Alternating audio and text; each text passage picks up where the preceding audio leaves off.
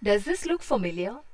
If you or your family members had had a bad fall, you would have taken an x-ray to see if any bones were broken inside. An x-ray basically takes images of what's inside your body. In this lesson, let's learn about the human skeleton. The human skeleton is made up of bones. It is under the skin. It provides a structure or a framework to protect all the internal organs of our body. Let's start with the skull. The skull is made up of curved bones which protect the brain, the eyes and the inside parts of the ear.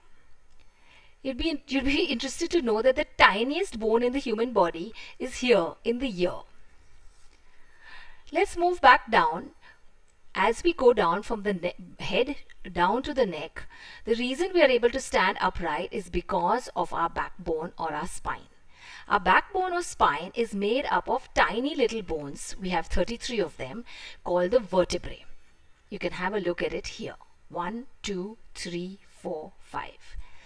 If you look at the front of the body, we have curved bones that protect our chest and they form what is called the rib cage.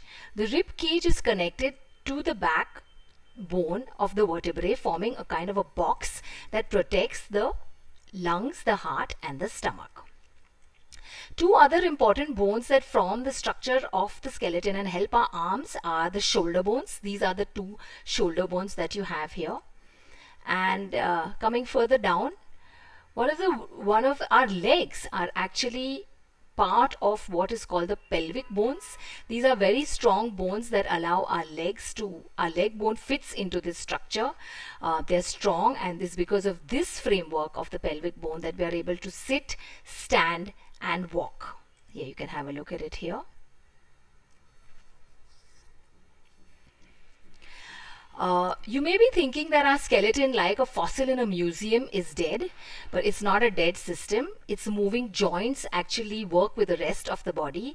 Uh, it's alive and uh, you'd be interested to know that when you're born, you're born with 300 bones and because the bones are growing, changing and are, are alive, by the time you're an adult, you have about 206 bones in your body in total because a lot of the bones have got fused together or joined.